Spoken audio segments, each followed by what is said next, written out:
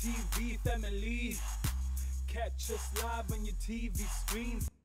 I'm also looking forward to the president kwisona ichaza uba ah u-x on the 15th of February uqala ngo-8 it repeats in the morning. Otherwise every other day it's 4 to 5 p.m. and thank you for choosing us as your source of education as well as entertainment right here on the Southern Hemisphere. You make us who we are and we thank you for your love and support. UJJ went to the Red Bull Studios. Um, he chatted to the likes of DJ Ready D. What they got up to is something very interesting and I feel like you should take a look so that you are enticed. Let's check it out.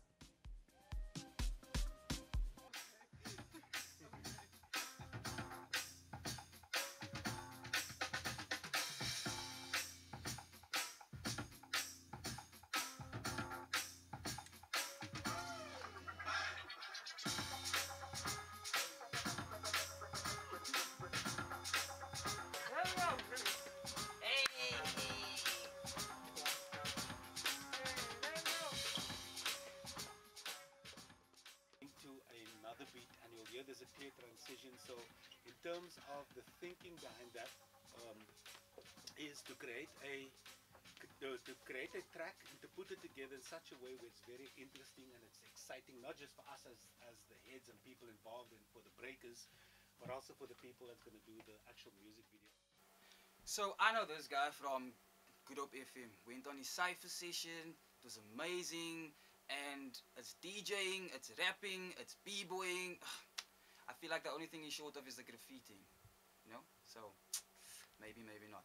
So, Mr. DDD, tell us about your role and your significance within this project with the BC1 competition. Yeah, sure, man. Thank you so much for the opportunity. And, uh, you know, I just want to salute everybody that's been there right in the beginning, you know, before BC1 and um, Red Bull came along. The culture's been around in South Africa. As far as my um, memory goes, I'm going to take you back to 1979 right now. That's when I was first introduced to hip-hop music. But I firmly believe um, that the roots of this culture is embedded within our African history and heritage and there's no timeline to it. So, you know, that is just on a philosophical, historical and a much deeper level.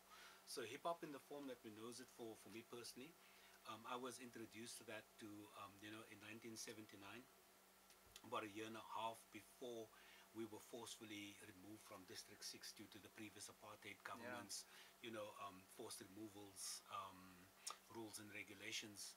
So during that timeline, the first song I was um, listening to was a song called uh, Rapper's Delight by the Hill Gang. Okay, okay. And then Kurtis Blow at the same time with that whole album, The Breaks. So that was my introduction. I, I could immediately relate to the music because as a kid, I grew up with that sound. You know, my father played disco, reggae, funk, soul, um, everything from jazz, blues, lang arm, klopse music, ghoema music, you name it. Yeah. I was exposed to all of that as a kid. Then when we were relocated to Lentegeur, Mitchell's Plain, that's when the, the rest of the of the of the puzzle started to fall in place. Okay. So one of the kids that grew up in, in my neighborhood in District 6 is now known as the very famous DJ Rosano X. Um, his mom and dad owned a video machine and he used to record all these music videos mm -hmm. of um, TV.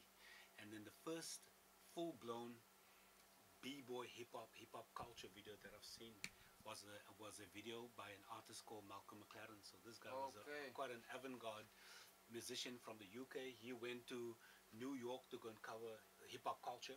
So in this video, they had b-boys breaking, they had graffiti artists, um, you know, doing their pieces. They had all these characters in the video dancing with like really funny painted faces and all these things DJs were scratching. I could relate to that because I grew up with all of that you know as a kid. But at the time I didn't know it's hip-hop music was hip-hop culture. Yeah, so yeah. we were breaking and doing whatever we did not even knowing what this thing was called. So as the story started to break in mainstream media we learned this whole thing is called hip-hop and it's hip-hop culture. And then I was like okay that's why the guys in the Rappers Delight opened up the song with hip hop, hip to the hip, to the hip, hip. Mm-hmm. So yeah, now you start putting all the pieces together. Now remember, there's no internet, there's no cell phones, there's none of these social media platforms. so respected, man. so we were we were going through an era of discovery. And we had to put all the pieces together, and we could only mimic what we've seen on TV and try to figure things out for ourselves. But do you see why I say you you you, you started this whole thing? no, I, I would say I was an early contributor, but I didn't start this. No, I there was- playing the humble. there, there was there was a massive community all over Cape Town that were involved. You know, so uh, we were quite active in Mitchell's Plain. Okay. Then other crews were active elsewhere. You know, um, if you look at Emile and Black Noise and all those guys, they were out in the Lotus, Grassy Park region, also doing their thing, until competition started to come up, and that's how we started to learn. There was actually other crews elsewhere in Cape Town City, specifically on the Cape Flats. So we were the crew from Mitchell's Plain, and we had homies out in Langa that used to break and pop and lock with us back then. And back then, the culture was on the street. Everything was vibrant. It was on the street.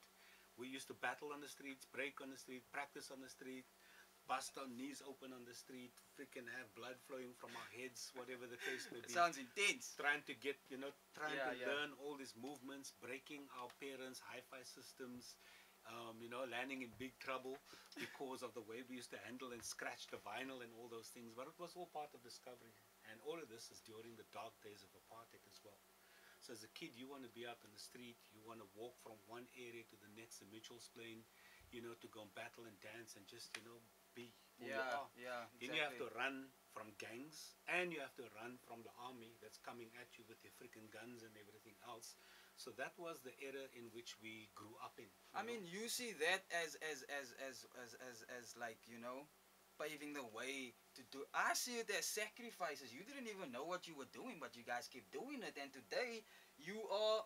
I don't know. I'm gonna say it, and you're not gonna deny this. You are a legend, my friend.